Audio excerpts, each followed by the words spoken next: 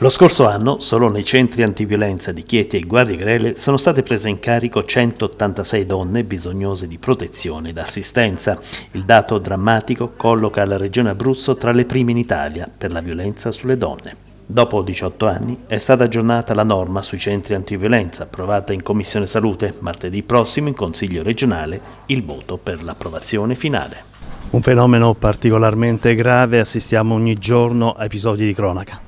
Sì, purtroppo sappiamo che entro 12 giorni di gennaio 5 donne sono state eh, di nuovo ammazzate e siamo solo all'inizio dell'anno. È importante eh, migliorare il lavoro che, dei, che, i centri antiviolenza in questi anni hanno portato avanti ed essendo appunto le professioniste del contrasto alla violenza di genere avere questo dialogo interlocutorio con la Regione ci consente davvero di partecipare a dei tavoli che ci permettano di migliorare il più possibile i servizi in, in eh, sostegno di queste donne.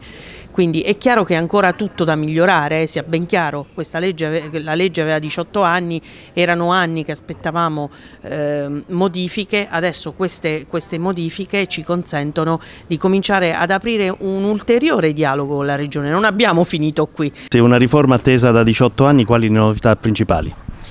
Eh, intanto un albo, un albo dei centri antiviolenza e una pianificazione triennale. I centri antiviolenza oggi sono costretti a ripresentare progetti ogni anno, a dimostrare ogni anno la loro attività e sperare ogni anno di ottenere dei fondi. Con questa legge si struttura sia eh, l'iscrizione in albi dei centri antiviolenza e anche il contributo pianificato triennale che aumenta inoltre eh, di oltre 150 mila euro. In questa legislatura me ne sono sempre fatta carico io con emendamenti al bilancio, con questa legge li rendiamo finalmente strutturali e semplifichiamo la vita ai centri antiviolenza perché insomma redigere i programmi e partecipare al bando ogni anno eh, è un lavoro gravoso di eh, personale che fa già e svolge già un lavoro molto gravoso.